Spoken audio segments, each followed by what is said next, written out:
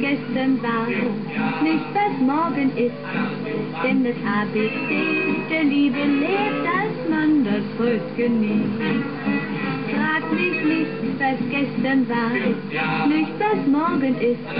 Eine Frau wie ich, die wünscht sich nur, dass man sie heute küsst. Frag mich nicht, was gestern war, nicht was morgen ist. Denn das ABC der Liebe lehrt, dass man das heute genießt.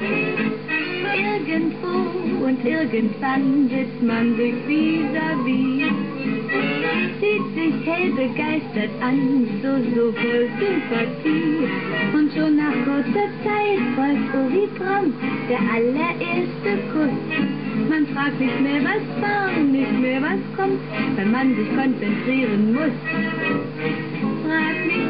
Was gestern war, nicht was morgen ist, denn das der Liebe lebt, dass man das heute genießt.